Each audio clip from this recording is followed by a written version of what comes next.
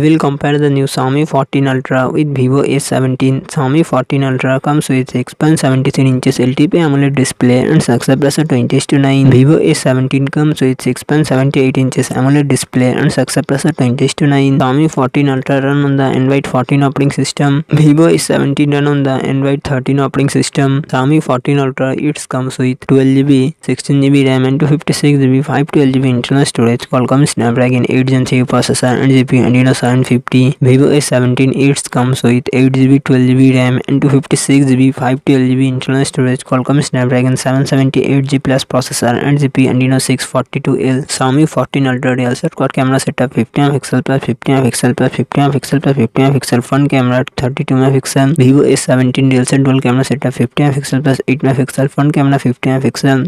Xiaomi 14 Ultra 5000 mAh battery 90 watt fast charging support. Vivo A17 4600 mAh battery 80 advanced fast earning support